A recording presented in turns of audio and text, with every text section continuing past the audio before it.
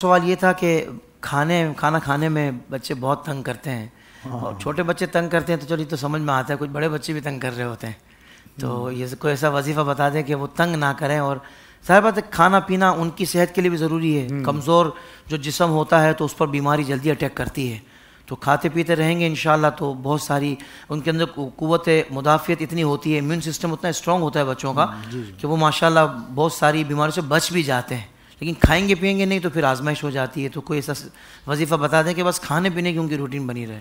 बड़ों का तो खैर मैं नहीं कह सकता बच्चों में ये मसले ज़्यादा होते हैं। सही। अच्छा बड़ों में जो मसला होता है ना वो होता है पसंद नापसंद का। हाँ। दालें सब्ज़ियाँ पसंद नहीं है। सही।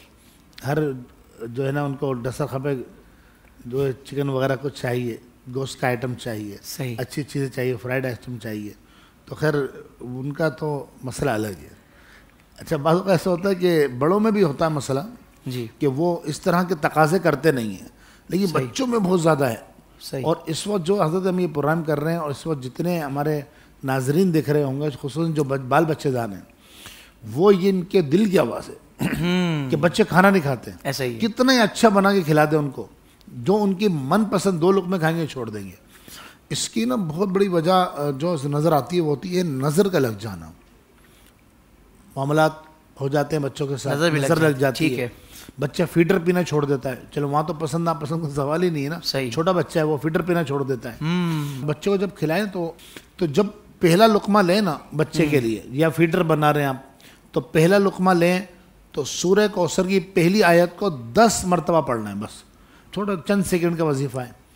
तो आप पढ़ लें और दम करके उसके ऊपर बच्चों को खिला दें। हम्म। ये तीन दिन अमल करें जब दो टाइम तीन टाइम जब भी खाना पहला लुकमा खिला दे बेशक वो एक ही लुकमा खाए उसके बाद छोड़ दे खाना। बच्चा जिद कर रहा है।